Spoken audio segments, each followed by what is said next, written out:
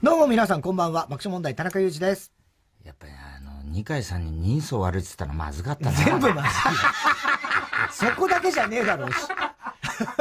妖怪みたいって言っちゃったから、いや、それは本当ひどいですよ。本当にね。そんなもうね。入ったな、俺。ええもう、その、相手が誰とか関係ないですけどね。本当悪いんだから。本当悪いんだからないし。もう、本当ダメです怒ってるね、みんな、日本中が。いや、そう、そりゃそうでしょ。というわけで、爆笑問題の、オールナイト日本。なんであれ、かかんないんだ。かかんない。そういうのかかんない。かかるわけねえだろ、なんでオールナイト日本。音楽でごまかそうかと思って。弱っちゃったね、もう、あれもうね、だからやってね。あの日、ほら、何時間もやったろ？で、朝からだったでしょ？そう、3時間やって、日曜サンデー。意気揚々と帰ってきたらさ、これうまくいったなと思って。意気揚々となるかのかよ。そんなわけねえだろ。何大絶賛だと思ったんだよ。そしたらさ、社長がさ、あんたは態度が悪いっつって。散々怒られて。口の利き方気をつけなさいよ、あんたっつって。今更ですかぐらいの話ですけどね。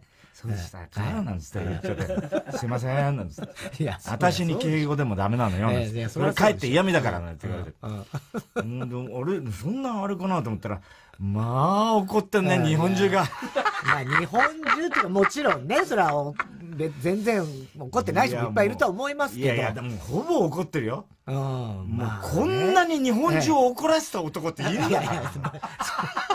どこまで怒ってるかわかんないですけどね。もう、俺、小山田擁護してる場合じゃないよ、俺。いいよ、もうそこ出さなくていい小山田を擁護してる場合じゃないだろっていう。名前もいいから出さなくて。ほんと燃えてるね。とにかく燃え、俺もう燃える。燃える弾痕って言われてるから なんだよ、もう何にかかってんだかもう燃えてる、燃える闘魂だよ。燃える闘魂ね。だ、お前それぐらい分かれよ、お前。だからだ。態度悪い、ほら、態度悪い。燃える弾痕って言われてんだから、俺なんかさ、もう日本中がすごいよ、本当に。ねねえ。あれもだ、やっぱ難しいな。選挙特番いや、でも俺はもう最初から、お前炎上すると思うネタ作りでさ。絶対、もうやる前から分かった。俺何に決まってんじゃねえか、お前大炎上。ネタ作りでさ、俺がさ、いやー、ちょっと燃えちゃってんだ今、つってさ、ね、お前知ってるかどうか。あ、そうなの？なんつって、俺見てないんだけどさ、いやもう大炎上だよ、つったらさ、いや、そうだと思ったお前、もう人事みたいに。いや、本当思った。決まった時から燃えるに決まってんじゃない、お前。そうそりゃそうですよ。気楽だな、お前。太田さんが選挙の特番とか生でやって、ね、そんななんかこう怒られないわけがない。そうかないや、それはもうやる前から絶対そうなると思ってたから。結構丁寧にやったよ、俺は。別に俺もだから後でも見ましたし、当日もね、まあちょっとこう、楽屋でちょっと時間ある時見たりちょこちょこはしてましたよ。音声だけ聞いたり。新しい試みだって、もう56歳真冬の大冒険みたいな。もう本当にさ、もうすごいよ。しかしやっぱりひどいね。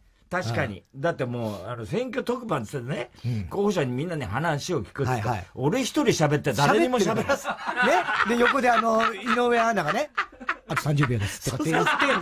もう誰にも喋らせないだもんね。すごい。あんなのはないね。見たことない。そうそう、あれは確かにね。一人で喋ってるんだ。だってパネラーにすら喋らせないんだろ。そうなんだよ。金子さんとかトラウデンとかいんのにさ、誰一人喋ってないんだよ。俺一人喋ってんだよ。そうそうそう。あれはないわ。確かに。ない、まあね。まあでもそれはまあ、太田光が問うっていうタイトルになってたからさ。もうちょっと、お前触れよ、みたいなさ。そんななしで、みたいなね。ひどいじゃない、あれは何？まあまあね。いや、面白かったよ。俺は見ててね。うん。後で、まあちょっと録画も見ましたけど。すごい、俺もネットが燃えてるっつうかさ、ちょっと見たんだよ、あの、怖いけどさ。はいはいはい。見たしたらさ、もう、もう、バリゾ、すごいいや、そりゃそうでしょ。まあ、そりゃもう非難合々だよ。いや、もう絶対そうだと思う。太田は品がないとかね。今更かって話だよね。言葉遣いが悪いとかね、もう、おっしゃる通り。本当ね、いちいちごもっともなんだよ。もう何の反論もできない。いや、そりゃそうですよ。で、中にはもう、太田お前はな、もうな、人の心の枠、な、気が、ね、全然気、気が使えないんだっつってね。礼儀がなってないんだ。お前は消えろっつって。お前こそ消えろ。お前こそお前、礼儀がなってねえだろってさ、匿名のやつにそんなこと言われる筋合いねえやと思ったけどそりゃそうですよ。その通りだと思いますけどね。そうだけどさ。なんそつったって、うんと、もう参っちゃうな、本当な。うん。とにかく礼節が悪いとかね。うんあの、礼儀が人の態度が悪いとか態でしょ度が悪いとかね。うんそういうのは、ああんね。だって俺びっくりしたもん。トレンド、あの、トレンドのなんかね、言葉とか、ご愁傷様とか誰か死んだのかなと思ったら、お前のセリフだったよ。まずかったんだなうんお前が言ったセリフだったよ。あまりさんがあんまりみじ、なんかさ、ちょっとかわいそうな感じで、しょんぼりしてたからさ、どうもご愁傷様っちゃったら。もうもうだ逆なんだよそれはもうあれよくないね。ええ。だああいうので、傷にこう塩人にね、うん。あの、傷ついてる人にご愁傷様とうん、あいつはね、太田はねうん、人の、そう傷ついた人のね、うん。言葉が分かってないのかっつってねあの、そういう心が分かってなはい。い、そういう思いやりがねうん、足りないんだっつってね、お前は日本から消えろって お前はなんだよ、バカ野郎と思ったけど、ね、見ず知らずの人に対してね、それで人、初めて会った人に対してね、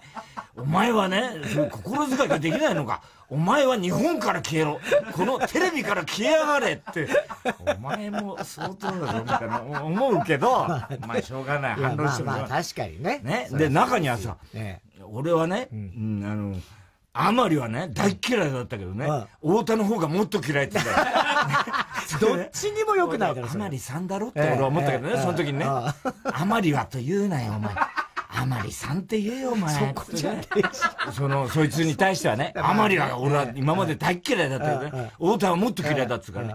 いや、そこはあまりさんいや。別にさ、笑わしたいわけじゃないからね。え？え？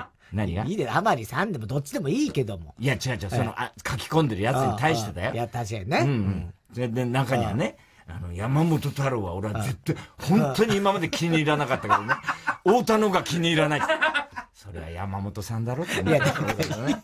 俺は、本当に、えそこは気遣いよ、ちゃんとええ。言葉遣い気をつけろよって、その、あの、書き込んでるやつには思ったけど、とにかくもう、とにかくね、太田はテレビから消そうなんつってね、はいみんなでね、もう与野党がね、与野党がとにかくね、一致団結しちゃって、団結しちゃってもうね、太田をテレビから消そう、ハッシュタグなんつってえなってんだよ。ああ、すごいねす。ごいよ。お前ら仲良くできんじゃねえか。俺さ、何なんだこれと思ってさ、すごいね。こんだけもう日本中から嫌われて男はいないよ、本当に。懐かしいな、お前の大学入学してそうそう、1ヶ月後ぐらいの感じだよな。全員から嫌われた感じだよ。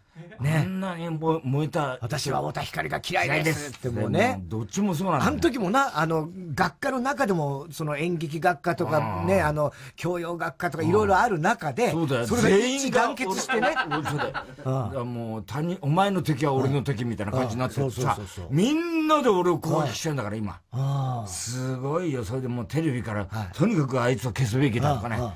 なんだとか放送倫理がどうのとかさ、もう散々言ってんだけどさ、うんまあ確かに、あの、二階さんも確かにちょっとさ、ムッとしてたけどさ。あ。いやいや、まあ笑っちゃダメなんだよね、そこは。二層、ええちょっと二層悪いじゃないですか、つったらが。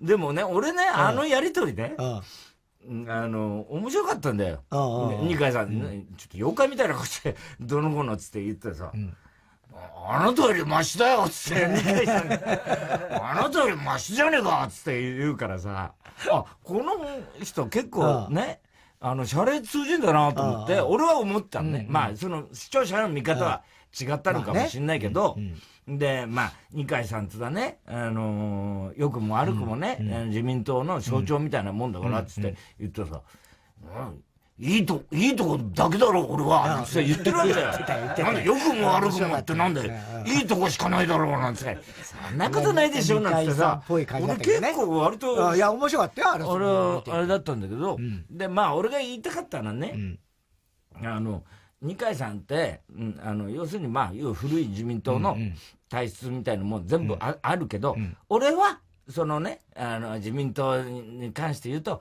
戦後、ね、もう、そのずっと、まあ、自由民主党ができてから、ずっと、実は、あの、なんていうのかな、その、あ安保、安保に対してですよね。まあ、とにかく9条ですよね。この憲法に対して、まあ、日本の歴史って、まあ、そこが批判されるところでもあり、あのーなんつうのうまくやったなって俺は思ってるところでもあるんだけど、割とこう、のらりくらりとしながら、アメリカともうまくやりながら、でも憲法は守りながら、なんとなく解釈変更で、そそれが安倍さんの言う戦後レジウムなんですよ。戦後レジウムから脱却しないで、いかないっつって安倍さんは言うわけだけど、俺はそれは白黒はっきりさせない方がいいんじゃないかって思ってんだけど、まあそれ時代のあれだよね。国際情勢もあるだろうし。で、そういう意味で言うと、あの、二階さんは平和主義者だっていうのは俺は分かってるから、そこは、ね、安倍さんとはちょっと違うんじゃないんですかってことを聞きたかった。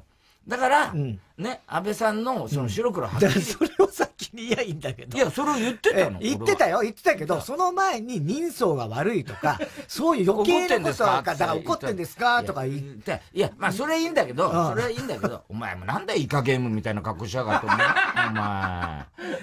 アディダスのお前、ジャージ着て、お前イカゲームか、お前は。赤のジャージ着たからって別にいいじゃないですか。緑だけどね。イカゲームね。ね。それで、まあ、そこを、聞こうとしてたんだけどね、それ答えるわけないよね。で、安倍君はと、とってもいい、あれですよ、つって言ってたん。だ。だからまあ、それはまあ、それで、俺はまあ、なんとなくでも、ニュアンスとしてね、その辺は聞きたかったなっていうのはあるんだけど、ただやっぱりあれだよな、一番あなのは、いつまでやんですかあれはちょっとムッとしては、やっぱりさすがに。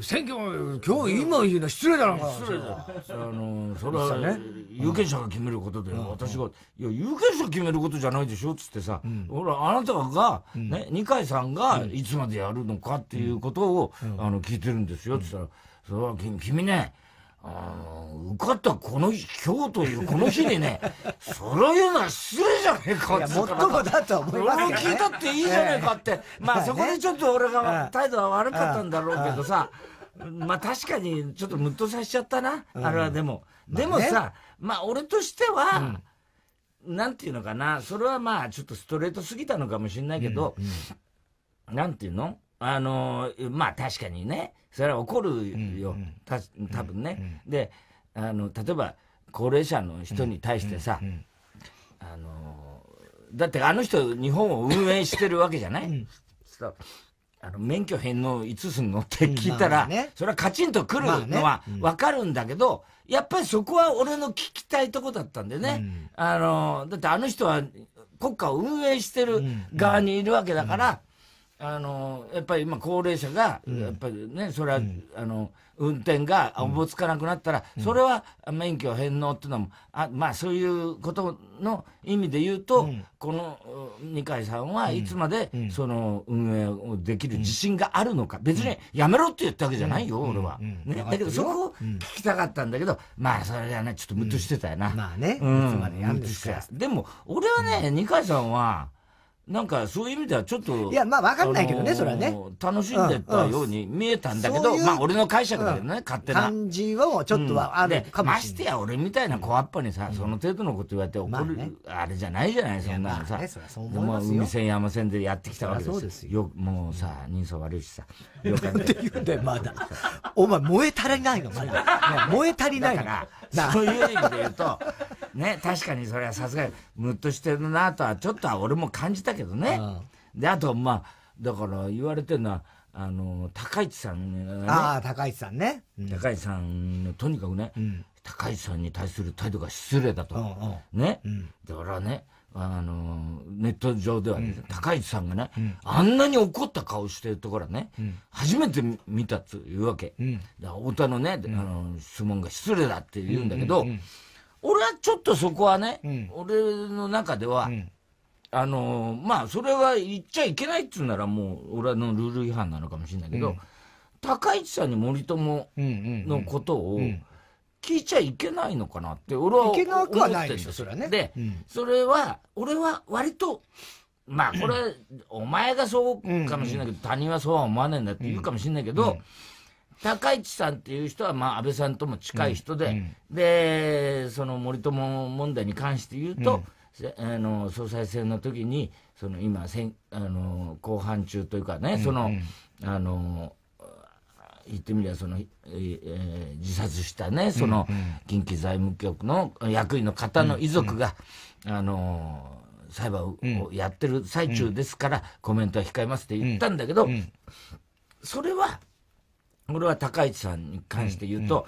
あの人はあのー、実は、あのー、高市さんの政治信条の中でね、うんうん、あのかつてその松下幸之助さんに言われた言葉っていうのがすごく、うん、あの人の真ん中にあって、っていうのは松下幸之助さんっていうのは、あのー、佐藤栄作さんにね、当時ですよ、当時佐藤栄作さんが僕はあの公僕だって言ったのかな、それに対してあの松下さんが、あなた君はねあの、公僕だなんて言っちゃ困ると。うん、公僕っていうのは国家公務員の、うん、その、いわゆる、その、公に仕える、うんうん、つまりは、国民のために、うん、あの、忠誠を誓って働いてる人、方々のことなんです。と。で、あなたは主権者の代表なんだ、まあ、総理大臣の時ね。つまりね、ね。主権者の代表って政治家です。総理大臣に限らず。ね。だから、あの、それは、あなたは公僕の人たちに、働いてもらう立場なんだから、うんうん、公僕なんて言ってたら国家運営は成り立たないと。うんうん、っていうことを言って、要するに、えー、主権者とその官僚との関係っていうのは、うんうん、あの俺の解釈ですよ、うん、えー、政治家が役人の人たちに、うま、上手に働いてもらうこと、これがまず大原則で、なんだと。それを私のあの政治信条の中で、一番忘れられない言葉だって書いてあったから、高市さんね。高市さんがね、で、俺はそういう人だと思ってるから、俺はあそこは何もね、何にも茶化したつもりもなくて、確かに途中熱くなって、言葉が荒くなったこともあったかもしれないけども、高市さんに聞きたかった。本当に率直に聞きたかったんですよ。うん。うん、俺、怒らせようとなんか一切してないまず大体そうだけどね。対しても。ね。はい、で、率直に聞きたかったのは、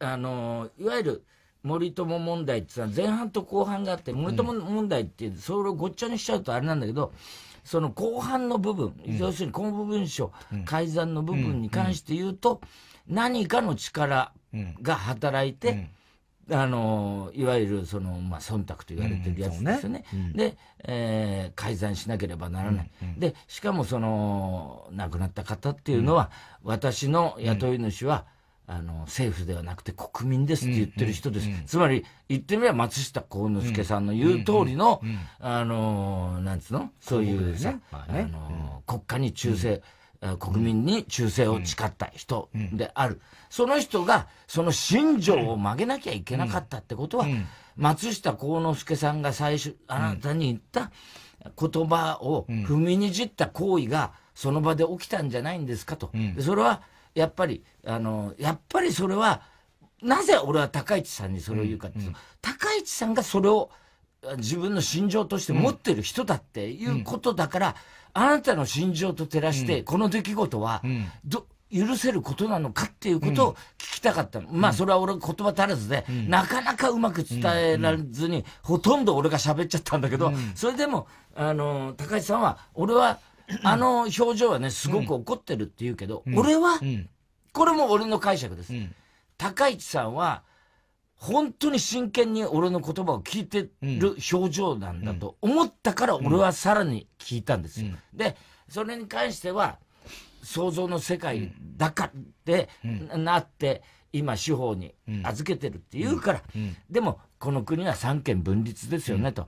で、これはね、俺と行政と立法と区別がよく分かんなかったんだけど、いつも分かんないんだ。あの、難しい、司法は分かるけど、で、とにかく立法府である高市さんは、そういう意味で言うと、あの、要するに公僕であるね、あの人がそういうことになった時に、えー、主権者のね、代表としては、それは三権分立はそれぞれ独立してるならば、司法任せっていう言い逃れはするべきじゃないんですかってことを俺は言いたかったんだけど、うん、もちろんあの短い時間で、ね、高市さんもそれに明確な答えをできるわけはないと思ったけど、俺はあの時の高市さんの表情は、俺の話を真剣に、多分咀嚼して聞こうと思ってた表情に見えたのね、俺は。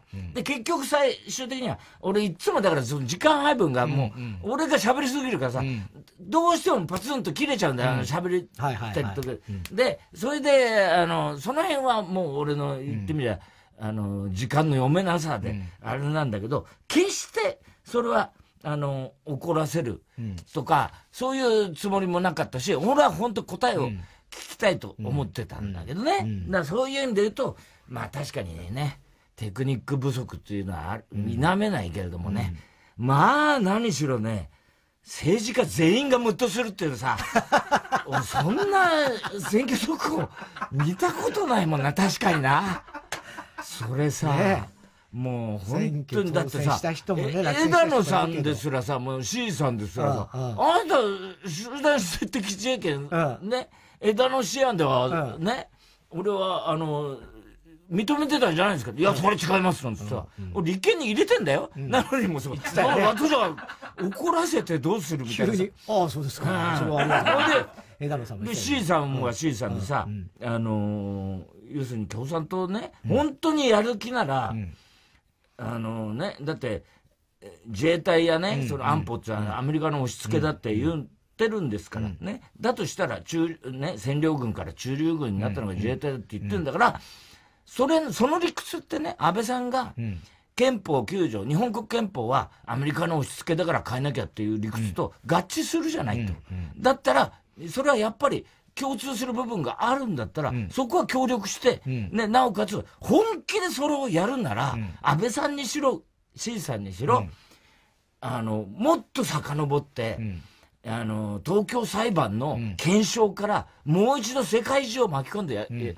っていう、まあ、俺もさ、スケールでかすぎたんだよな。その、もう一回やり直す。ね、で、それが本気の覚悟が見えたら、俺はもっと国民は、っていうか、俺も含めてですよ、あの、それに賛同する人は増えると思うっていうようなことを、まあ、聞こうとしてたんだけど、うん、なかなかそれももう二人ともムッとしちゃったもんだから。そうね。ほいで、うん、ダメでさ。ね5分じゃ話せないからね、そういう話はね。ほいで、まあ、ネット見てるとさ、もう、あの、太田はもう二度とね、テレビ出んの、まあ散々言われて、あいつはもう引退しろとか解散しろとかさ、あのー、散々言われててね。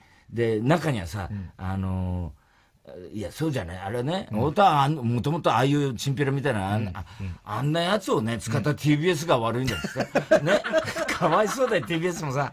もう踏んだり蹴ったやんで。で、TBS はね、あいつをね、任命した時点でね、ああなることは分かってただろうって。分かるわけないんだよ。俺が本番でああなることなんて。分かるわけないの、TBS は。で、だからその TBS が悪いわけじゃないですよ、あんなのは。うん、で、そういう意味で言うとね、あのー、始まった時にね、始まって2時間ぐらい CM 行かなかったんだよ。うんうん、だからもう、要するに俺に入る、そのスタッフが、あの、こうですとかっていう、あの、暇がなかった。なかった。俺はどんどんどんどん突っ走っちゃうじゃん。でさ、あの、やっと CM 入った時にさ、わっとスタッフが来て、あの、太田さん、あの、もうちょっと政治家さんの話を、あの、聞くようにしてください。ごめんごめん、ごめん。あの、向こうに喋ってもらって、あと、言葉遣い気をつけてください。言ってんだよ、TBS は。もう、もうだから、相当来てたんだろうね、多分ね。ね。言葉遣いだけは気をつけてくださいって。俺に言って、あ、分かったもう言葉遣いねっつって、気をつけてください。CM 負けるとまた俺が、あんたあんたさみたいになっちゃうから。そうそう。もうで、井上は井上で横でさ、あと2分ですかなんか、もう。頑張ってたね、井上君パスッと切られちゃうからさ。ね。だからそれみんな俺やってんだけど、まあ、俺の暴走だよね、要はね。そういう意味じゃね。老害というかさ、なんていうかさ。それで、だって小川なんかさ、もう、だから、もうみんなムッとして、ね、民主党から、立憲からさ、もう自民からさ、共産党から全員ムッとしてんだよ。全員ムッとしてた。全員ムッとしてしかもさ、俺さ、オープニングで座ってさ、どうも桜井ですっったら、隣の小川がムッとしていや、だそこもさ、キーって睨んでさ。いや、睨んでもないよ、だから、別に。それをお前が睨んだことにしたってだけでしょ。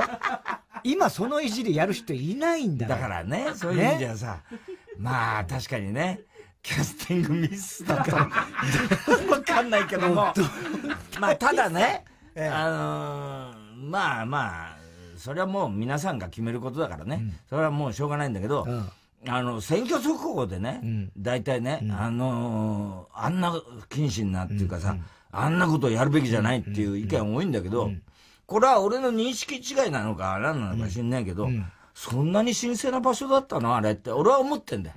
だから、選挙速報なんてものが、ね、みんな、そう言うけど、あ、そんなにきちっとかしこまってやんなきゃいけない。うん、まあ、俺の態度は悪いんだろうけどね。それはわかるよ。わかるけど、ただ、あの、そこまで何？あの、ちゃんとやんなきゃいけないっていうかさ、あの、要するに話を聞聞くことの中でね、っていうのは、俺がもしそうは思ってなかったから、俺は。だから、それは、もしそうだとしたら俺の認識が間違ってたっていうことだよね、きっと、ね、全部間違ってんだろうね。だからさっき関根さんじゃないけどね。きっと。全部が間違ったんじゃないですか。本当に。きっとそうだ。俺ね、本当に嫌なのは、いいるんでまた。太田は田中がなしだとダメだって。あ、もうそれ。必ず、ええ、いるのね。お前がいたってああなってるよな。いや、な、だから、俺がいてもなってるプラス、井上くんはすごかったと俺は思ってる。井上もう本当にすごい。よくね、言う、もうそれはもう言う人はいるし、うんうん、俺はそれ前から否定してる。お前は俺傍観するもんな、ああいう時な。まあ傍観っていうかもうどう、ちょっとなんかやめなさいぐらいしか言うことできないし。井上はちゃんと後で。そう、後でちゃんと言ったことはこうですよね。で、で、あの人はこうだって、あ、もうこれが時間なくて申し訳ないです、みたいな感じそうだったあれはすげえと思って、やっぱ。しかも、耳元、ささやきおかみみたいな。あと1分あと1分そう。俺ももう、思わずあと1分って言っちゃいそうになっちゃったから、俺も。ささやきおかみじゃないね。で、あと、だから俺が、おあの、一番、だから、そういう意味で言うと、ネット見てると、俺が何を喋ったかは、もうほとんど、あの、内容がどうとかじゃないんだよ、ね、ないんだよ。だそれがやっぱ俺の一番の罪だね。まあ、ね、そういう意味で言うと、そのご愁傷様だとか、うん、あの、なんだ、あの、妖怪みたいな、あの、なんだ、うん、なんて言ったっけ、俺。あの、怖い。人相が悪いとか、そういうのばっかりで、あの、なっちゃって、本当は、俺は、岸田さんに言った質問が一番の俺のメインイベントだったんだよね。で、岸田さんがさ、成長って言ってたけど、成長ってどういう意味か、俺は本当に分かんなくて、うん、あの、今の日本で、これ以上どうやって成長するんですかってことを、うん、まあ俺バカだからそれ分かんないのよ。で、それを聞いたの。で、岸田さんはね、あの、要は、あの、なんつうのかな、安倍さん、岸田さん、安倍さん、菅さん、岸田さんね、来てね、まあ菅さんはまあ、あの、ちょっと短かったけど、で、これはね、実は俺は前々から思ってるんだけど、安倍さんが最初になった時から、要するに、あの、岸さん、うん、安倍さんのおじいさんでね、うん、岸さんが安保、日米安保になって、うん、条約をやって、で、その後池田さんが、あの、国家倍、えー、所得倍増っていうのをやって、この流れが今、その、意識してんのかなって、俺は岸田さんに感じてて、岸田さん宏池会っていう、言ってみりゃ、池田隼人さんの、あの、要するに、あの、なんつうの、系譜なんですよ。で、安倍さんは岸さんでしょ、そうすると安倍さんが今回も安保法制やって、集団的自衛権やって、で、その後、岸田さんが出てきて、え令和の所得倍増したじゃない,、で、当時も東京オリンピックがあって、大阪万博があって、で、今回も同じじゃない、東京オリンピックがあって。つまり、もはや戦後ではないって言ったあのことを今もう一回繰り返すんですかってことを聞きたかったんだけど、それでき、いや、実際聞いたんですよ。ね、で、あの、でも、それをするには、環境が違いすぎませんかと。成長って言うけど、あの当時ね、確かに日本は成長しましたと。それはもはや戦後ではないってとこから、で、実は俺は昭和40年生まれなんだと。で、それは、あの俺が、あのー、5月だから、うん、すると、俺、うちの袋が妊娠したのが、うん、池田内閣の後半なんですよと、うん、所得倍増のね。で、えー、生まれたのが佐藤栄作さんの時ですと。だから、言って、うちの親父は建建設関係で、で、俺が生まれた時はね、あのー、本当に最初の記憶は、鹿島だったんですよ。家の間借りしてたんですよ、家族3人。で、そっから確かにあの時成長があったんですよ。目に見える成長が、ね、目に見える成長が子供心に、うん。はい、だって、うちの親父は持ち家を建てて、埼玉でしたけど、ベッドタウンになって、東京のベッドタウンになって、で、二人は東京だったけど、両親はね。で、そっから持ち家が立って、だって銭湯行ってたんだのが、家に風呂がついて、冷蔵庫が新しくなって、ね、まだ、あの、三種の神器の時代よりちょっと後だからね、俺が生まれたのは。そうすると、3C っつって、カラーテレビだ、あの、車だっていう時代ですよ。で、白黒テレビがカラーテレビになって、で、うちの親父は自家用車買って、どんどんどんどん生活が、子供でも覚えてんだから、みんな人並み、あのうちの、あのうちなんか車買ったらしいよとか、で、家電が、ね、それでクーラーがついてとかさ、もうそれを、確かにこれは成長だったと。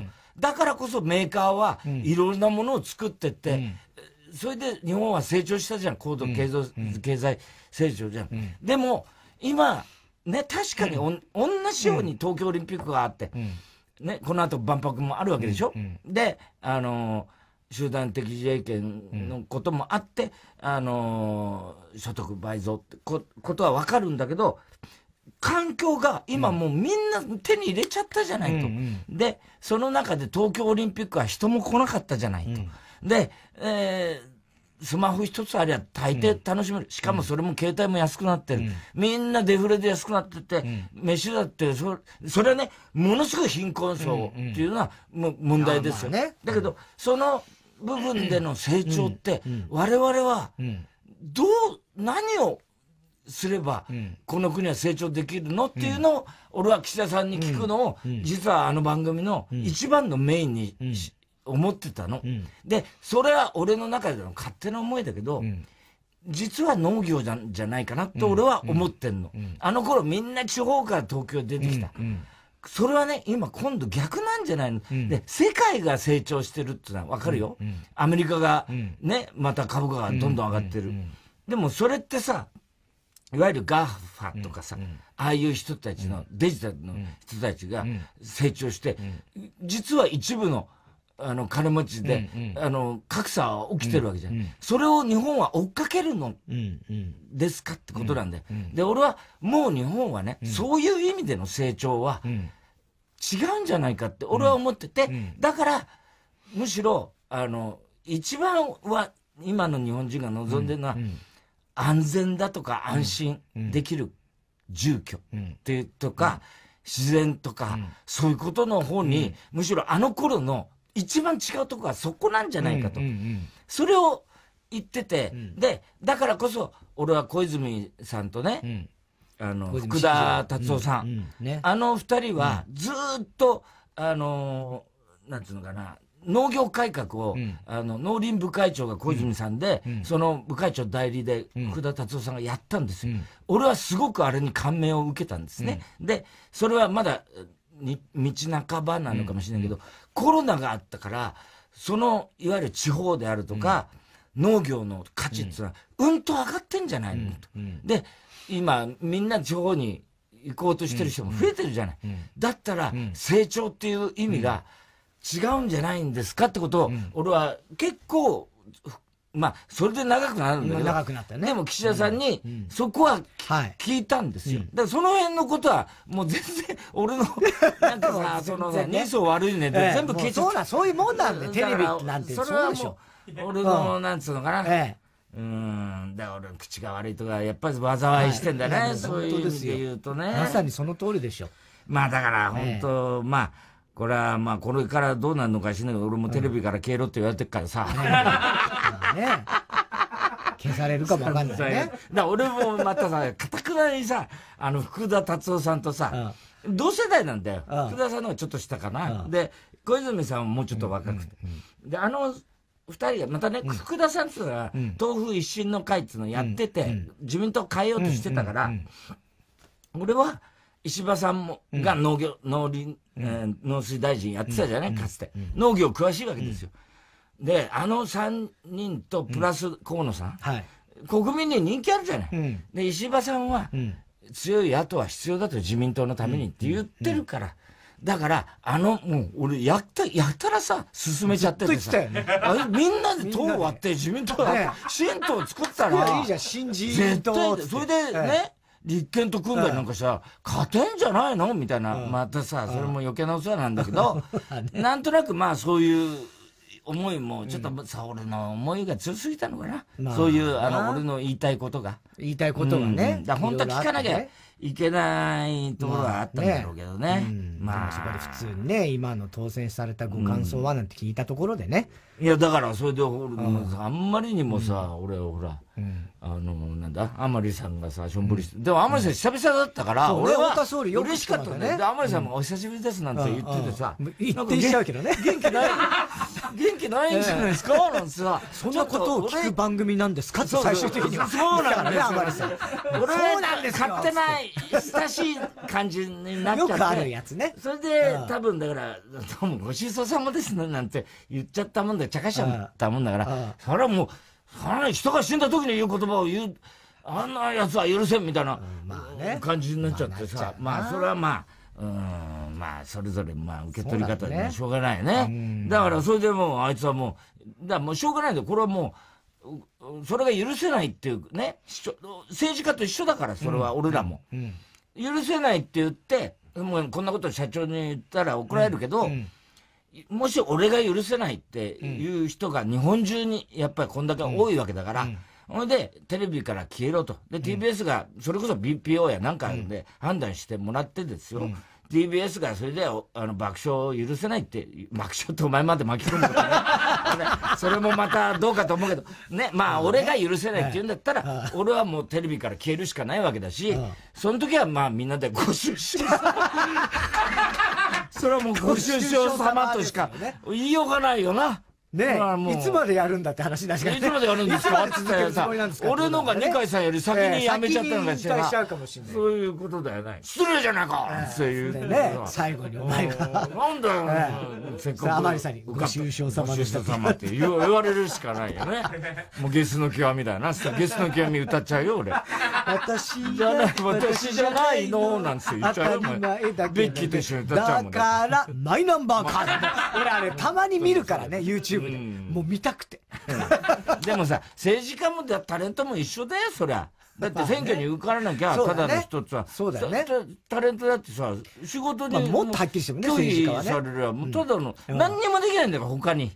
ね。そうだよ。だからそういう意味で言うと、まあ、あの、甘利さん確かに、ね、あの、な、比例で受かったんだっけあの人。まあ、まあまあ、そうだよね。でもまあ、負けそうな雰囲気だったから、でも、あの負けたらただの人じゃないそれは、うん、ね？だからそれはタレントも一緒だからさ、うん、だからまあしょうがないな、まあ、しょうがないんだけどね、うんうん、ねまあしょうがないっていうかまあ、うんうん、同じだなと思って。まあ通じてるとこありますよ。うん、でもまあ本当に太田総理の頃からそうですけど、要はまあお笑いごときが政治を語るとか、政治家になんかちょっとこう意見するとか態度が悪いってのは確かにそうだよもうそれだけでもうアレルギーの人はいっぱいいるってことですだから、もしま、ま、もう一度、あの、私にチャンスをいただねえよ、そんな。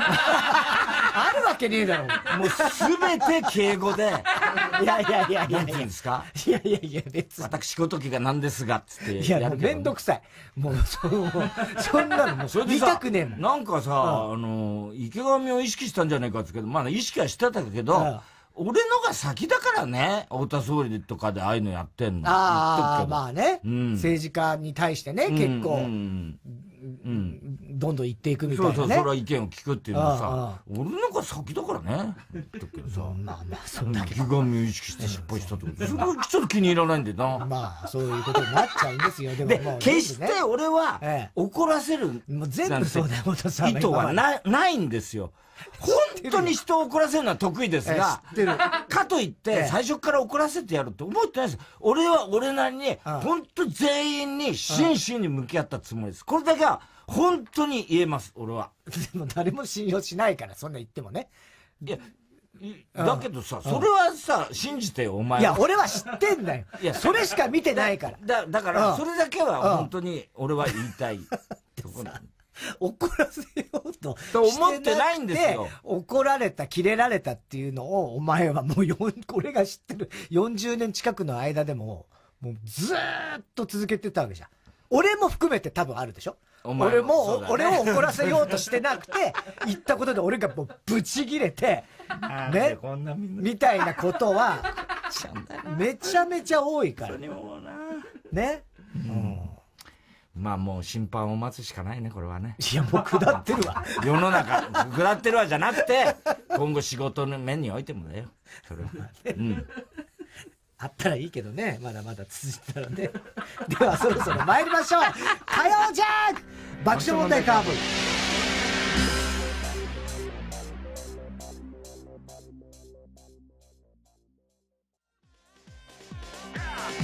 改めましてこんばんは爆笑問題田中裕二です。太田です。今日の東京はおおむね晴れて日中は22度でした明日水曜以降も晴れて日中20度とか19度ぐらいの日が続きます、まあなかなか秋晴れの過ごしやすい日々っていう感じだと思うんですけどね、あの選挙特番の時さほら、うん、サンデーから行ったじゃない,、はいはいはい、はい、そうもうエレベーターのとこでさまたさ、ラグビー部のさ、ボディーガードのやつさ、お待ちしておりましたってさ、ずっとついてくるね楽屋まで。で楽屋のドア開けてどうぞってさで俺がタバコ吸いに行くじゃん。全部ついてくんだよ。トイレ行く時もさ全部トイレの前でこうやって見張ってんだよ。嫌だね。TBS の中でそんな危険な、大変だぞお前。これ TBS の中でそんな危険なことがあったらって言ったらさ、ねそしたらさむしろさ今日いてほしいよな。今日いてほしいね そうね。今日姿も見せやしね、え俺 TBS 来んのに。確かにね。何なんだあいつ。もう仕事は終わったんですよその人たちの。ね。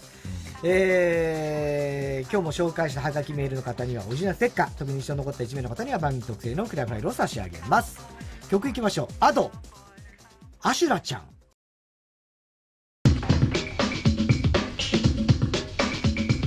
火曜ジャン爆笑問題カーボーイ。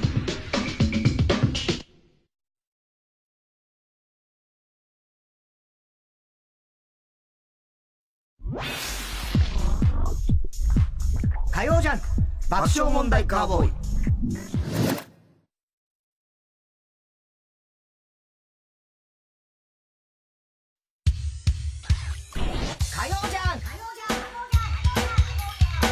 爆笑問題カーボーイ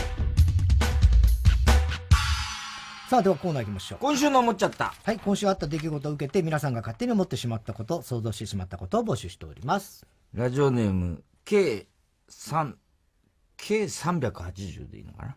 うん。K380。うん。大井競馬場の所属の競走馬。うん。すもももももももも。はいはいはい。ニュースになってたね。うん。なんてさ、知ってる？うん。あ、そのレースも見てないし。すもももももももも。うん。すももももももももっていう馬が、馬がいるらしいですよ。うん、初勝利を挙げたというニュースを見て思っちゃった。うん、もし田中さんが独身で未だにドンファン通いしてたら、朝五条や、いつまで覚えて、よくね、初体験のドンファンの朝五条。すごいな。ね、朝五条やお店のお嬢たちの間で、スマタタタタタ中と呼ばれてそんな呼び方。めんどくせえだろ、お前。スマタタタタン田中と呼ばれてたに違いない。呼ばれるか。スモモモモモモモモは、2018年生まれの3歳牝馬。うん、父は、アンライバルト。スモモモモモモモモのうちが由来だって。まあまあ、そりゃそれしかないよね。ね桃のうちまで入んないからね。確かにね。えー、ラジオネーム、笑福亭グルーチョ。うん、太田さん、ペ・ヨンジュンの仮装をして、渋谷を歩いていたら、高須委員長と間違えられてた。なんでだよ、似てねえだろ、ね。あ、でもちょっと茶髪。まあ、少しね。高須委員長なんか病気治ったとか。みたいなね。よかったね。よかったね。奇跡的だよね。そうだよね。すごいね。うん木下ゆきなの謝罪動画を見て思っちゃった。うん、もし木下ゆきなが今後バラエティに復帰した際、うん、SM の女王様の格好をして登場し、タピオカ すみこだよ西岡だよ。たら、そこそこ受ける。いやいやいや、受けるけど、受けるけど。怒られたろ、また。ね、またおかしい、反省してないのかみたいになるから。またサリナがもう今ドキドキだろうからね。そんなことないのに別に。いや、そんなことはないと思いますよ。読まれたら、チンフラネーム、チンコフランダース。すごいね。読まれなくてもチンフラネームだろうよ。ね太田さん、娘に、チンコフラダフランダースの人って逆線高くね？と言われ、言われて、やっぱりパパの娘だな。夜中に。一人しみじみと。泣いていた人。いや、知らないから、チンコ・フランダースの娘は。チェホンマンの誕生日で思っちゃう。チェホンマン誕生日。誕生日？お前仲良しだもんな、チェホンマン。いやいや、一回ロケ行っただけだよ。バク転かなあれ。肩車されてたチェホンマンにな。なんだっけ？そうそうそう。バク転だよ。バク転か。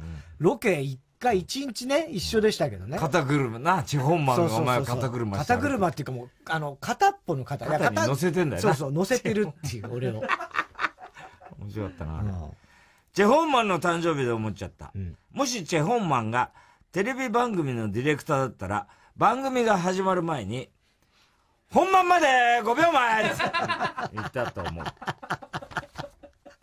本番5秒前本番5秒前 一旦コマーシャルいきます。火曜ジャン爆笑問題カーボーイ。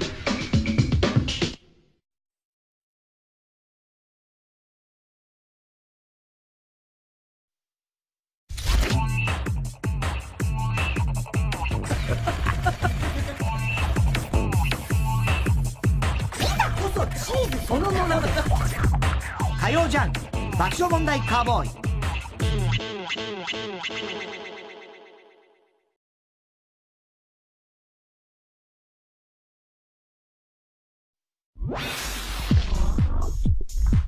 火曜ジャン爆笑問題カーボーイ。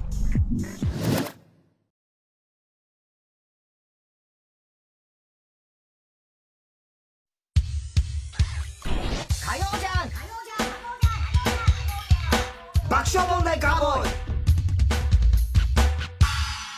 さあ、それでは今週の思っちゃったの続きいきましょうはい。えー、ラジオネーム、恋するサボテンちゃん。うん。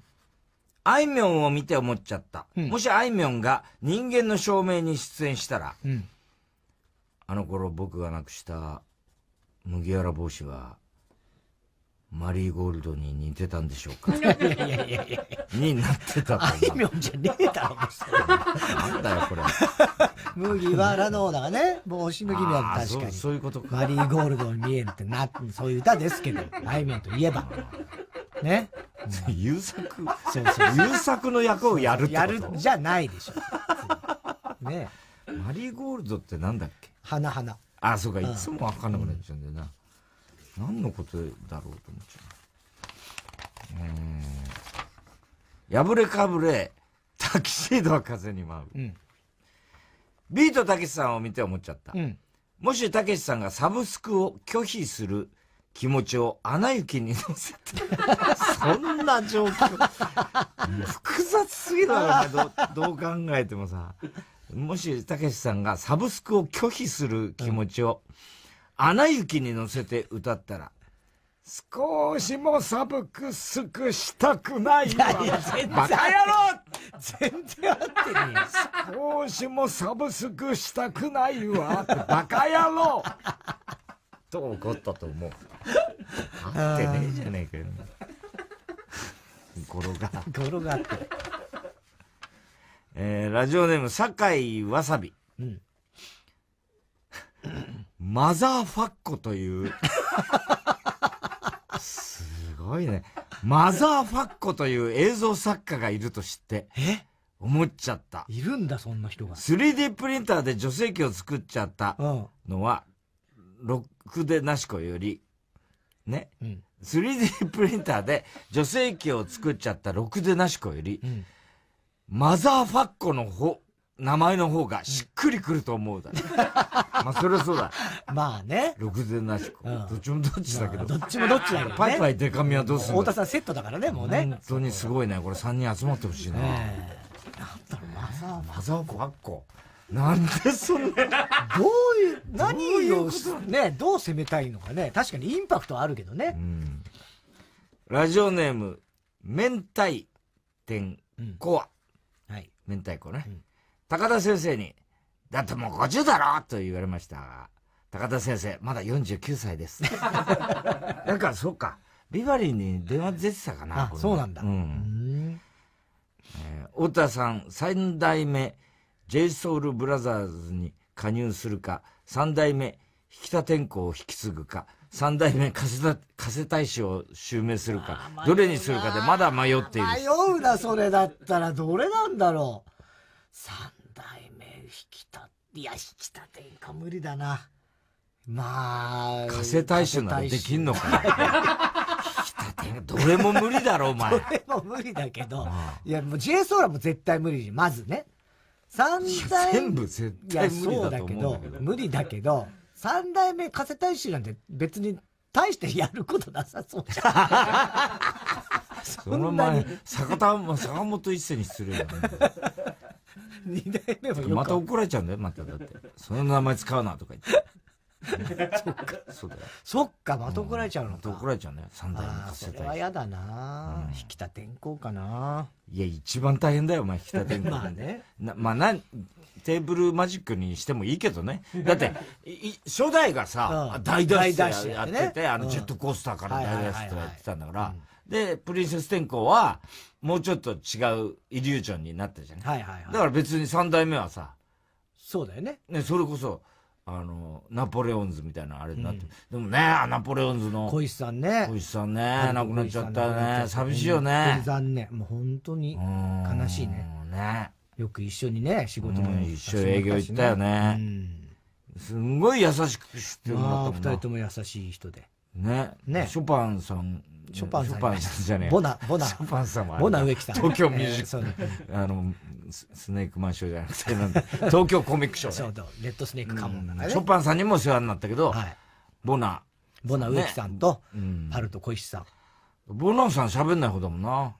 そうだね。トークはどっちかっていうと小石さんの方がトークメインっぽいね。最初、ね、なんか心配だよね、ボナさんもね。うん。えー、竿だけ屋を見て思っちゃった。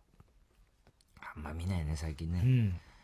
もしも田中さんをディスる竿だけ屋がいたら、田中、竿だけ、と、メガホンで言うと思う。それを聞いた田中さんは、俺、竿だけじゃねえし 一つだけど弾あるしと、すごい怒る。いや、すごい怒りゃしないけど。いや、そんなのがわざわざうちの近所に来たら、そりゃ、それは腹立ちますけどね。なん、何がしてんだ何をしに来たんだ、何をしに来たんだと。誰も客は来ないだろう。いいのかと。その事実を言ってるだけじゃねえか。いや、そうですけど、みたいな。ねえ。竿だけが子供の頃怖くてね。俺ああいう。よね。そうなのよ。なんかしなきゃ子供の頃。全然怖くなかったあの、放送で街中の、その、なんつうの、声がするとか、町内放送みたいなとかあるじゃない。だから、石焼き芋とかさ。そうそう、ああいうのとか。よくやってうん。チャルメラのあの。チャルメラなんかいいじゃない。ねねねねね怖かった豆腐、豆腐、えー、豆腐みたいなのあったね。まあね。ポーポーみたいな。うん。うちの近所の豆腐のその人はね、王貞治そっくりだったんだよね。本当に王さんそっくりって、王の兄貴って言われてたからね。勝手に。勝手にね。王の兄貴来たよ豆腐屋そうなんだよ。俺のとこはタコって言われてた。つるっぱげでさ。で、怒るんだよ、からかと。真っ赤になって追っかけてくんだよ、豆腐で。ラッパ吹きながら。ラッパ吹きながら。本当に漫画だよね、それはね。はい。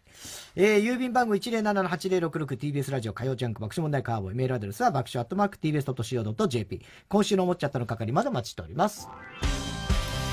えー、TBS ラジオ今週の推薦曲、三宅真司ザ・レッドロックスで心のラブソング。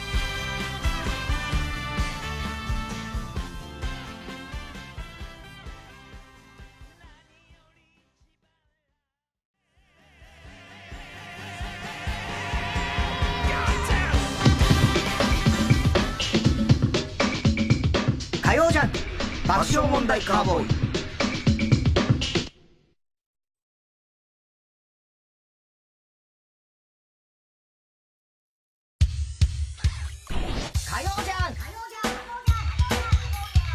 爆笑問題カーボーイ。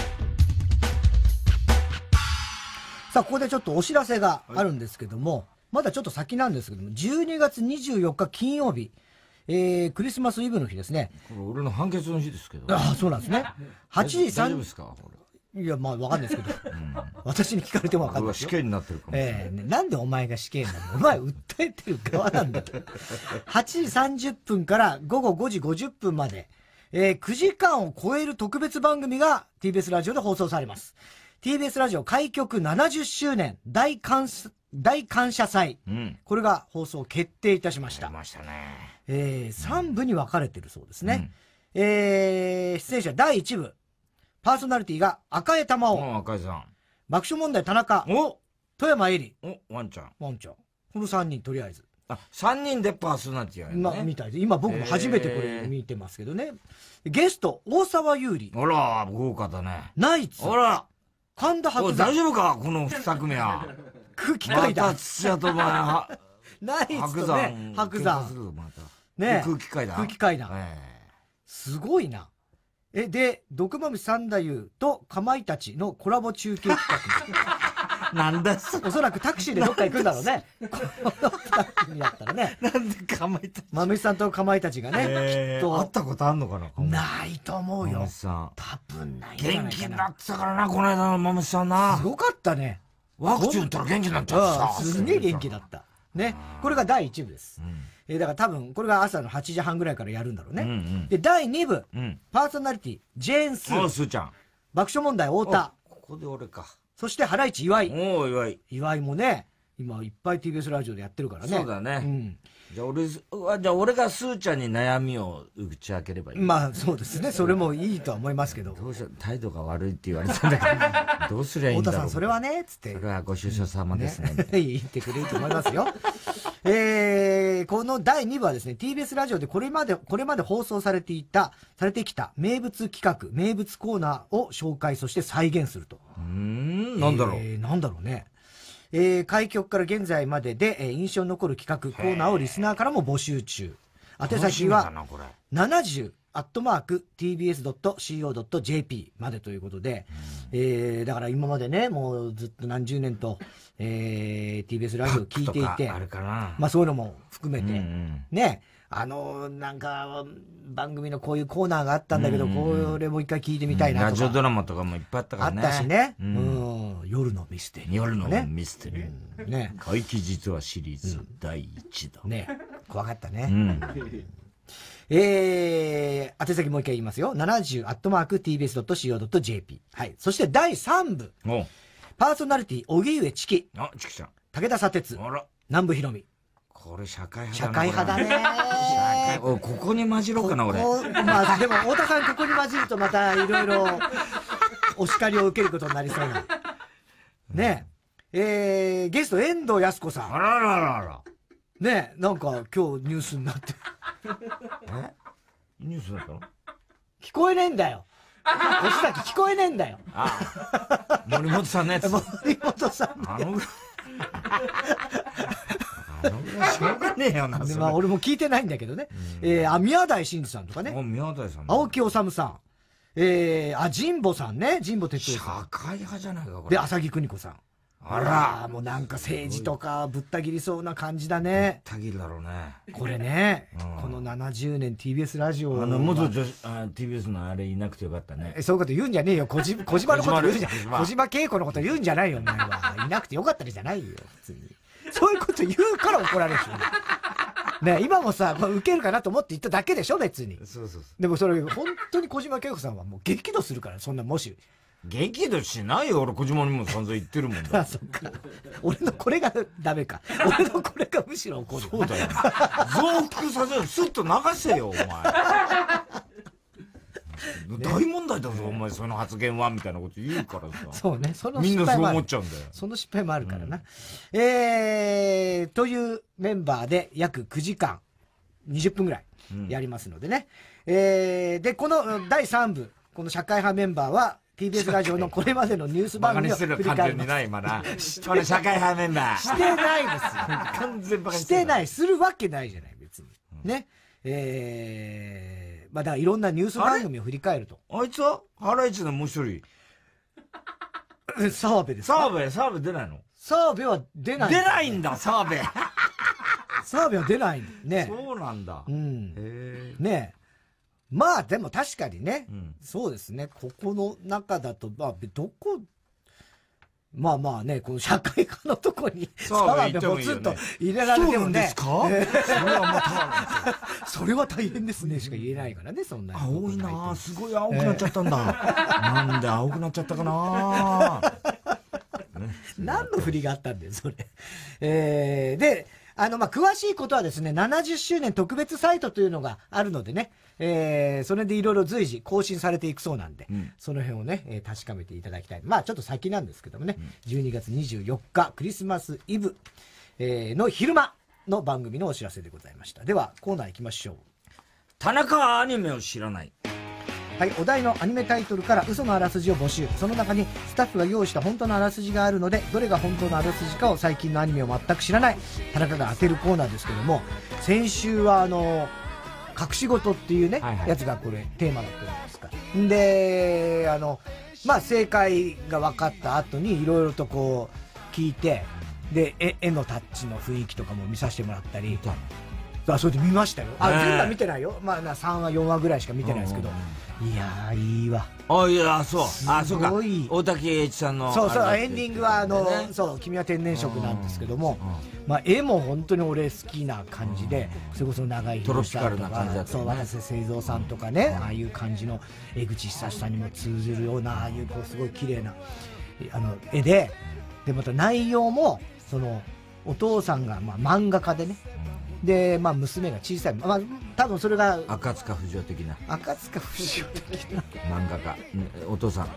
そういう感じなのお父さんが赤塚不二夫あそうじゃないんですけどまああの石ノ森章太郎だからそういう 昭和の本格的な漫画の谷岡康谷岡康じゃなくて、あのまあ別にどこまでネタバレか分かんないんですけどまあちょっとエッチでふざけた漫画を描いているんだけど、それがなんていうの、その、ちっちゃい子供が生まれた時にね、娘にこんな父親が変なタイトルの漫画を描いてると思われるのが、うん、もうすげえ、そんなんでももしいじめられたりとか、傷ついたら嫌だから、それを隠すっていう。そんなこと言ったらマザーファッコの子供はどうなの？マザーファッコはもう知らねえよ。そんな名前つけるぐらいだったらもう、もういいんじゃない？ただその漫画の設定はそういうね、その親子の父と娘の話なんですよ。面白いそう面白い。まあ、だからもうギャグもあありつつ、漫画家あるあるみたいのも入ってたり。隠してるわけね。そうで、いろいろこう隠してるんですよ。で、娘にとにかく自分が漫画家ってことも徹底的に隠したりして、異常なほどの、もう娘のもう愛愛が強いみたいな、そういう話。漫画家さんは隠せるもんね、作家さんとかはね。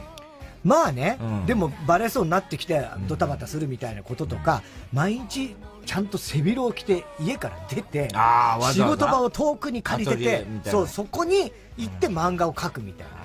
でそこに娘が訪ねてくるための避難訓練じゃないけど来た時の訓練までどうやってみんな隠してまた着替えてみたいな会社のふりするみたいなこととかまあ、ちょっとでしかもそれ自体が漫画なんでしょ？そうまあまあね。すごいよね。二重三重の。実はだから娘も自分が漫画だったとは思っていやいや気がついてる。それは気がついてるの。い。や私も漫画なんだけどそれはない。そういう側面は描かれてないですけどね。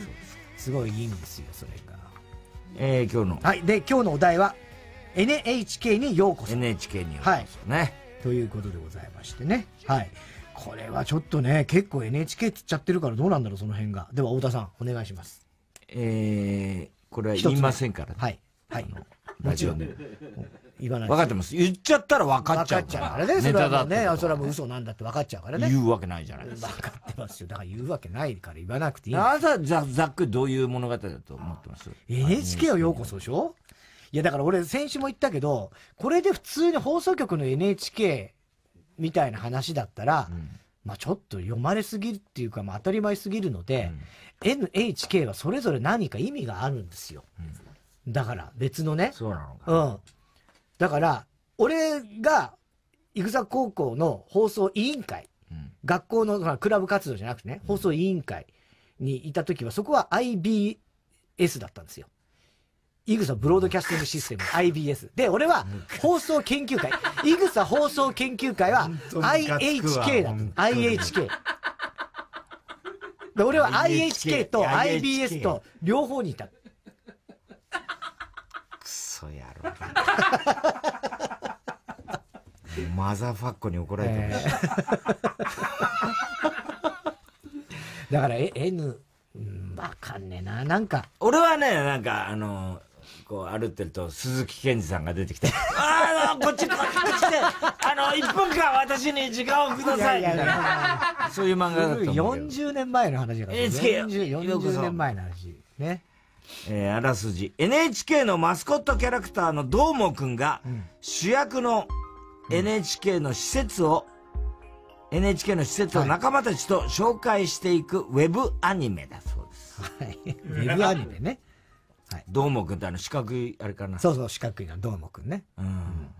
あれってさ、衛星を普及させるためにはいたんだ ?BS だっけ、うん、なあ。確かそうだ、ね、ふるさとチャンピオンで散々あれ、なあ。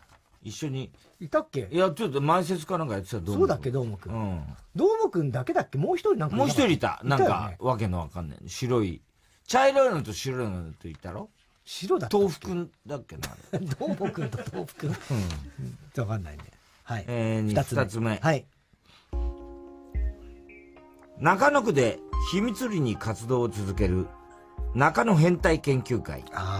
略して NHK。うん、ビニボン、エロ漫画、AV、春画。様々なスケベなものを持ち寄り、真面目に研究を行っている、そんな男子の園に突然入会希望の美少女が来て、うん、かなりエロくてちょっと純情。はあ、そんな歪んだ青春ストーリー。ああ、いい、いいね。ありそうだし。面白そう。変態。変態研究会。研究会。うん。中野区の中野変態研究会で NHK なんだね。あ、だから、ね、中野区に住んでる俺は、イグサ放送研究部で IHK だったからね。ほんとムカつくわ。ほんとマザーファッコに怒られてるし。放送していいんですかって感じでね。マザーファッコですか。こうですからね。うん、えー、三つ目。はい。かつて NHK の朝ドラで人気を博した元子役、佐々木彩音。うん、しかし、年を重ね、仕事が減り、二十歳から25歳までほとんど仕事がなかった。うん、そんな中、再び朝ドラに出演することが決まった。うん、鬼のようなプロデューサー、演出に妥協しない監督。どうもくんに隠れて すごいな。どーもくんに隠れて、あやねを見守る優しい彼氏など。なんでどーもくんの後ろに隠れてる。どういうこと？これ。中に隠れてる。どういうこと？少しおかしい人たちに囲まれながら、うん、彼女は再起をかけて朝ドラに挑む。うん、あやねはこのチャンスをつかむことができるのか。うん。いうね。なるほどね。うん。どーもくんの中に入ってんのかな？どうなんだろうね。どーもくんに隠れてどーもくんの後ろに隠れる 確かにね、隠れられそうだけどね。四角くてね、面積広いですから。えー、4つ目です、ね。うん、4つ目。俺は、自分が大学を中退し、無職で引きこもりであるこの現状が、日本引きこもり協会、通称 NHK の陰謀だと気がついてしまった。うん、そんな中、謎の美少女が少女好きだな、やっぱり。私のプロジェクトに選ばれたって、俺を誘ってきやがった。うん。これも NHK の陰謀に決まってる。うん。という。なるほど。陰謀ね。陰謀論的な。うん。うん、そして最後、はい、最後ね。5つ目。中目黒東公園。はい。略して NHK。ほうほうほうほう。そこを拠点に活動する不良たちの人間模様を描いた池袋ウエストゲートパークのパクリ。ダメじゃねえか。小さいな、なんか。中目黒東公園。なるほどね。うん、まあ、中目黒東公園 NHK だしね。確かにそうですよね。えー、そっか。でも中目黒だと、それこそその、隠し事も舞台がその辺なんですよ。中目黒とか代官山とか、その辺なんでね。でこれちょっと、続いちゃうんだよ、中目黒かな。あとだからその、いわゆる NHK ネタは俺ちょっとごめん、外させてもらうわ。最初のどーもくんと、あの、元子役の朝ドラ再びのやつをちょっととりあえず外して考えるね。で、中目黒も続いちゃうから、2番目か4番目。中野区変態研究会か日本引きこもり協会。このどっちか、どっちも美少女が出てくるんですよ。似てるよね。うん。どっちかかなと思ってるんだけど、えー、どう？え、え、ウエストゲート中目黒東公園は、あの、先週も中目黒舞台だったから、ちょっと2週連続はないかなと思って外しました。えー、面白そうなのは、日本引きこもり協会も面白そうだ NHK 陰謀論。うーん、でもなんか、ありそうなのは中野区変態研究会かな。エロの研究。2番、中野区変態研究会。じゃあ4番目の日本引きこもり協会。正解。そっか。まあまあ、このどっちかかなと思ったんです。えー、ちなみにマスコットキャラクターどーもくんが主役の、うん、えー、NHK の施設を紹介してくれるやつは、うん、ラジオネームプジョーのタクシー、うん。そして田中君が最初に言った中野変態協会、研究会。研究会。これが笹山中尾本田しばしのさすがですね。ね、うん、そして朝ドラのね、奮起するってやつが、うん、ラジオネーム私立探偵福内陽子、うんえー、そして最後のね中目黒、えー、中目黒ウエストゲートパークのパクリっていうのが藤田悦司でした、ああいや。藤田ね。ねそっか。なので正解は引きこもり協会、なるほど。えー、NHK はい2006年放送された。で結構前のですね。原作は滝本達彦氏による小説。えー、原作の表記は NHK って普通に NHK なんですけどアニメ化に際して NHK 本物の NHK に配慮として N 点 H 点 K ってなってるんですね。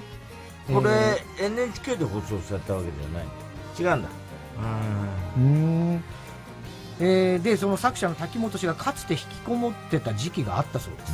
でそれがこの話のベースになってるっていうね。うん。えー、で2021年5月今年の5月20年ぶりの新作小説「新 NHK にようこそ」というのが滝本氏本人が参加している同人誌に掲載されたそうですね。絵はねあのー、可愛らしい、みんな綺麗だねね女の子がいまして、うん、えー、これがその美少女ってやつでしょうねきっとね、うん、日本、えー、引きこもり協会、うん、ね陰謀論みたいなちょっと今っぽいよね。そうだね、うん、多いもんねそういう今日は朝浦さん来なかった？忙しかった。忙しかった。そりゃそうだ。そっちを優先するべきだよ。そりゃそうですよ。ね。さあ、ということで、次回募集するお題のアニメなんですけども、次回のお題、ドロヘドロ。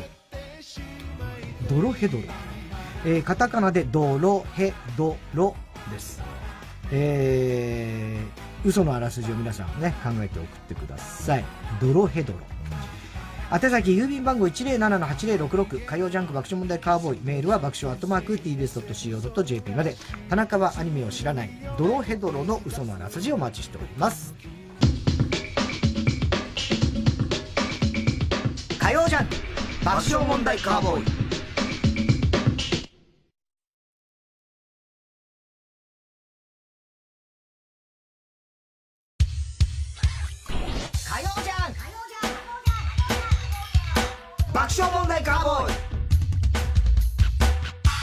さあ、続いては。怒りんぼ田中裕二。はい。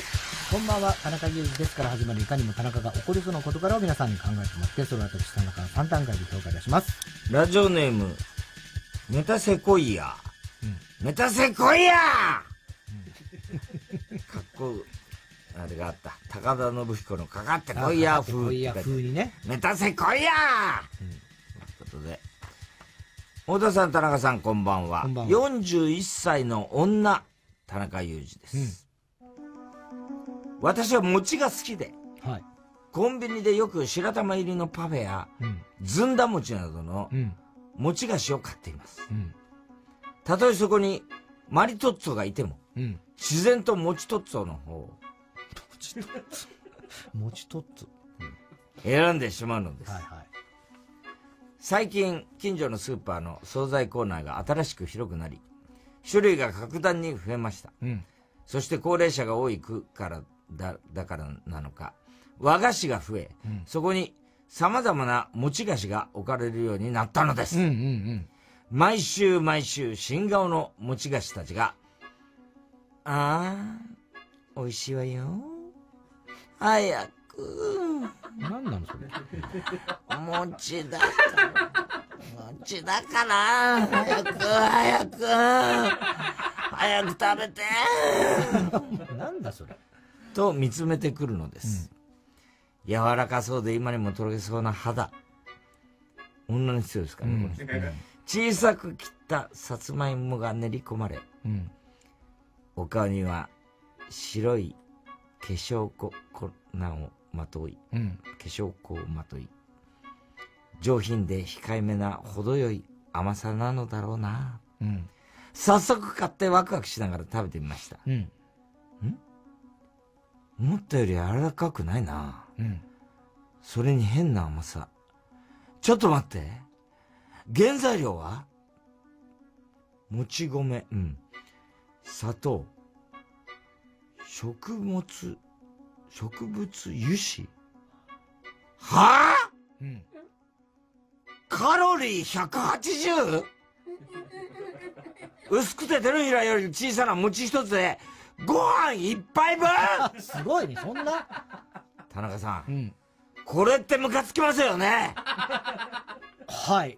だって餅菓子って、もち米と芋や、あ、あ、あんこなどの食材の自然な甘さだけを生かした、生娘みたいな食べ物じゃないですか。例えはちょっとよくわかんないけど。いかにも純情しそうな。ええ。イメージだからね、それね。まだ何も。じゃあ、その、まだ何も。な例え方してるさっきから。知りません。いやん恥ずかしい。そんなマリトッツォさんみたいに。マリトッツォ好きだな。そんなガバッと開くなんて。それは生娘の仮面をかぶった砂糖と油にまみれた都会で遊びまくった女だったんですよ。なんでそう例えてんだよ。実はそのスーパーでは何度もそんなことがありまして、餅を信じては餅に騙され、うん、それでも私は理想の餅を追い求め、今日もそのスーパーに行くのでした。スーパーじゃないとこで買えばいいんじゃないの？和菓子屋さんとか行って。餅ってでもなんかカロリー高そうなまあね。するけど。だって和菓子も、ね、あんことか、ね、あとほら、ああいうこう、なんてみたらし餅太りそうで2回もな。ね、餅は太りそうなイメージはありますよ。そんなカロリー低いとは思ってないですけどね。ただその、なんつうの、油とか、そういうのマリトッツォより高いんだな、だな。マリトッツォよりも高いんだなって言ってカロリー？そうそう。いや、マリトッツォのもっと高いと思うよ、俺は。あ、そうなの？うん、わかんないよ。マリトッツォだっていろんなのあるだろうけど、うん、まあ漢字としてはマリトッツォの方が全然カロリー高いと思います。マリトッツォってどういうの？あのさ、これもうお前とこう5回ぐらい話してるけど、えー、えー、って毎回言うんだけど、そう。あの、日曜サンデーでも実際食べたんですけどね。今流行ってるスイーツで、まあ、パンがこう、パーッと開いて、そこ、間が全部生クリームみたいなやつ。ね、あれか。あれがマリトッツォ。あれがマリトッツォです。この間、いいよがマリオトッツォって言ってたやつだろそう、言ってたやつね。マリオトッツォ。マリオトッツォ。そうそうそうそう。ね。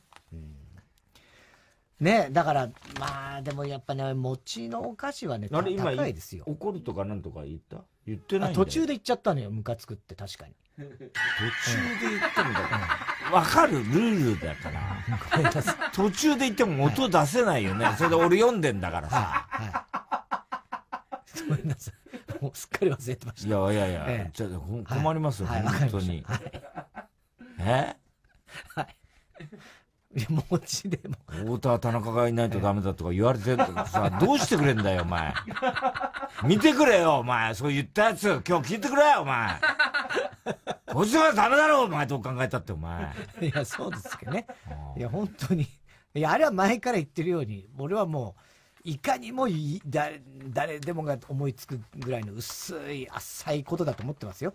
いかにも言いそうじゃないですか。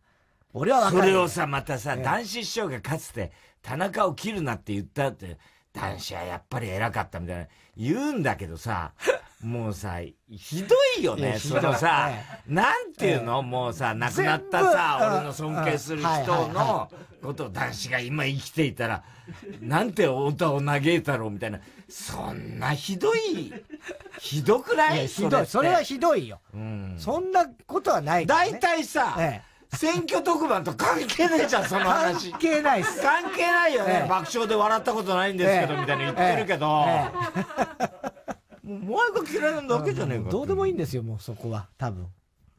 ラジオネーム、お猫。うん。こんばんは。30代女性。うん。女性多いね、最近ね。うん、初投稿の田中裕二です。うん。先日、任意接種のワクチンを打ちたいと思い、うん、近所の診療所へ相談に行きました。うん、任意接種のワクチン。あれかね、コロナワクチンの。うんだと思うけどね。その診療所は、年季の入ったビルの3階にあり、待合室には私一人でした。うん、すぐに名前が呼ばれて診察室に入ると、年配の男性の医者が言いました。うちは小さい診療所だからそのワクチンは扱ってないよ。まるまる、まるまる病院に行って、もし紹介状が必要だったら書くんで、その時は行って。そうなんですか。わかりました。早速、〇〇病院に問い合わせると、受付でワクチン接種は可能ですが、紹介状がないと、えー、選定療養費として5000円ほどかかる場合があります。と言われました。うん、私は紹介状を用意するか迷いました。なぜなら、先日行った診療所の医者の印象があまり良くなかったから。しかし、やはり5000円の出費は大きいと思ったんで、紹介状を書いてもらおうと、診療所に電話しました。うん、あの、先日相談したワクチンの件で〇〇病院に問い合わせたんですが、紹介状がないと選定療療養費5000円がかかると言われましたので、うん、あの、紹介状を書いていただきたいのですが、すると、医者は電話口で急にブチ切れました。うん、はあ？その受付にバカ野郎って言ってやれ！何考えてんだお前。そんなもんいらねえだろえ？はあ。大体受付なんかな。何にも分かってない事務員がやってんだバカ野郎って言ってやれ。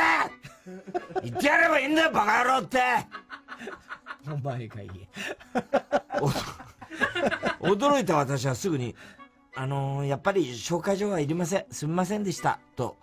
自分は悪くないと思いつつも、うん、とりあえず謝ってその場を切り抜けようとしました。うん、すると医者は、はあ？そしたらあんたが5000円余計に払わないといけないんでしょ？書いてもいいけどさ、絶対言わないでよ俺は〇〇病院と仲悪いんだからさ。いい？私。あ、はい。わかりました。ご迷惑をおかけしてすみません。はあ バカ野郎はお前だろうが患者にいきなり怒鳴りつけやがって、しかもこっちが引き下がっていりませんって言ってんのに、さらに会話を続けてるんじゃねえよ電話切れないだろうが、もう関わりたくないってことだよ察しろよしかも、まる病院とは仲悪いって知らねえよ 確かにね。てか、その病院を進めてきたのはあなたですよね。それに、紹介状が必要だったら書けますって言いましたよね。あれは嘘だったんですか？絶対言わないでよってどういう意味ですか？紹介状って紹介した医者の名前を書いて、先方の病院に提出するものですよね。ね誰に何を言うなって言ってるんですか？全然意味がわからないんですけど、だから患者が来ないんだよふざけんな田中さん、これってムカつきます、ね、いや、超ムカつくでしょ。これはひどいね。わかんないね、これ。なんだろうね、その医者は。もう。絶対言わないでよってどういうことなんだよ。わからない、街の人にとかいうことなのかな。いや、だから、俺は、だから仲悪いから、ね、俺。でも書くってで書くよ。だ俺もそれは本当その通りだと思ったよ。秘密にもできない、隠せない。紹介状がないと5000円も取られちゃうんだね。まあね、それもどこ、どこまでもなんだかよくわかんないね、それも。ね。以上ですか？はい。はい。えー、では続いてのコーナー行きましょう。CD 田中。はい、CD の歌詞の一部分に田中が以前この番組で喋ったセリフを無理やりくっつけて作品を作ってもらっております。えー、ラジオネーム大体和音。うん。もう恋なんてしない。マッキーですね。牧原紀之。それと10月26日、1時1分頃の田中。うん。歯ブラシ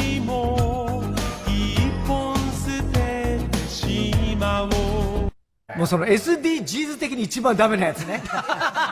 そうだね。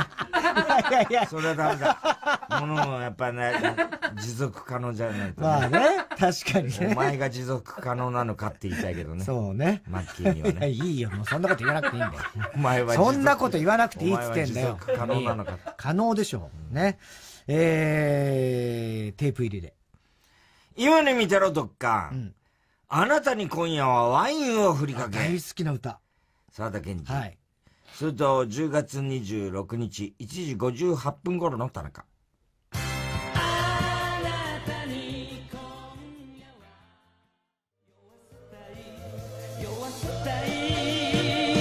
口から飲むよ、だったら。そりゃそうだ。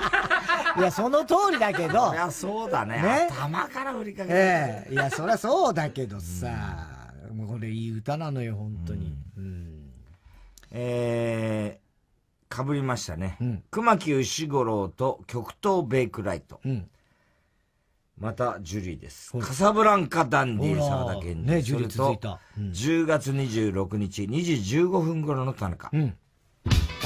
一つ、二つ張り倒して。この描写とかテレビでやってアウティーじゃね？アウティーじゃね？確かにね。にこれはダメですからね、もう今ね。一番ダメですよ。だからやっぱり昭和の歌だよね。ね、別に。こんな、そうだね、ね今。聞き分けのない女の方を一つ二つ張り倒してってトップアイドルが、ね、歌って大ヒットですからね。ないのかな、これ。ね、絶対そんな今ね、キンプリとか、こんな歌詞の歌歌わないからね。どう考えたってね。確かにね。ねえ。いや、これ面白いね。テープ入りしましょう。熊木牛五郎。うん。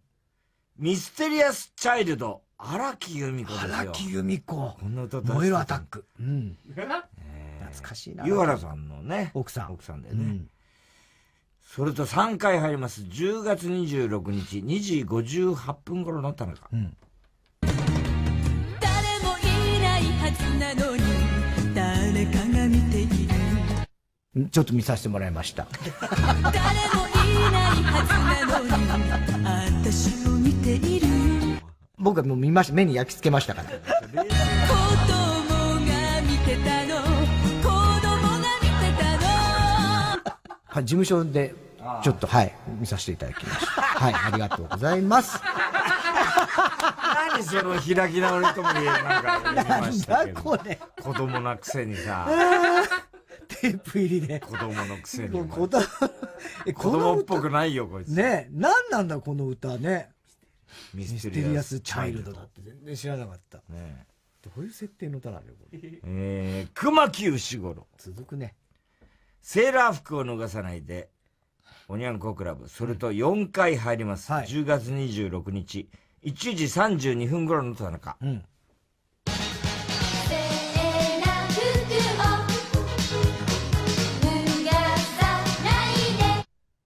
まあ治療だからね。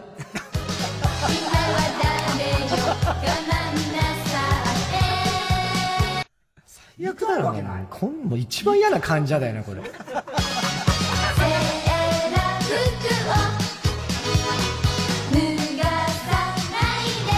もうめんどくさいよ、本当に。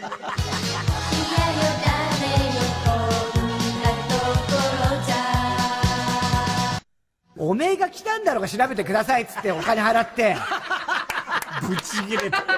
ぶち切れちゃったよ。殿堂入りまあ確かすごいね。これはよくできてるね。いや、面白い。はい。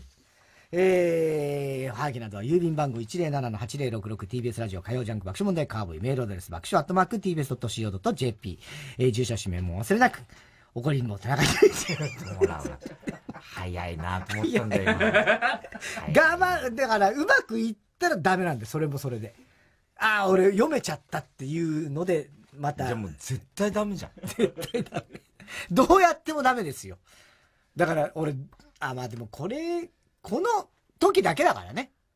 だからその今、今心配になったのその、クリスマスイブの、大津さんまた眉毛を動かして、やめてくださいよ。クリスマスイブのやつとかさ、クリスマスイブの、うんああ、さっきの70周年ね大大感謝祭。これも嫌なんだよ、大感謝祭が。うん。この時も、そんなこと早く言ってくれ。でも赤江玉緒と富山いると俺だから、早くそうなっちゃったらもうおしまいだな。何がおしまいなの？この笑いがなんかこう止まんなくなっちゃった人は3人ともダメそうじゃない？ああそういう気がした。えー、どの曲のどの部分に、どの部分に、いつのどの台からくっつけた全然ダメ。送ってください。やり直しやり直し。CD 回だ、もう時間ないから。曲も行かなきゃいけないからね。CD 田中のコーナーまでおはきメロがしております。柴田聡子さんで。雑貨。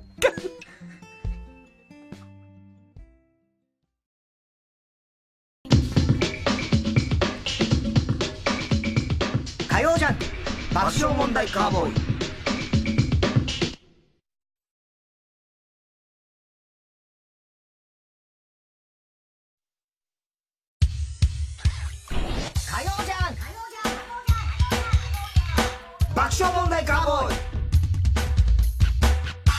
さあ、今週のショーの発表です。